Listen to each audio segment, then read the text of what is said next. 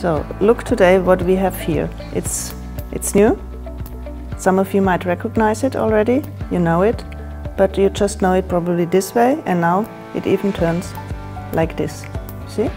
So this is the new Omnifinger by Grena and we have three, I guess it was three so far, three clips and it was a pliers, it was this one, the straight one, then we had the 20 degree one, the 45 degree one and now we have the 60 degree one and we just use one applicator. That's perfect.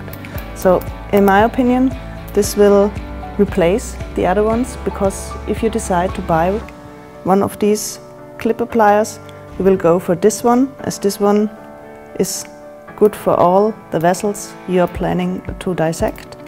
It perfectly turns this way and you can angulate it this way. So you are free like you're doing open surgery. So I guess this will be the best and new clip we ever have for VATS lobectomies so far.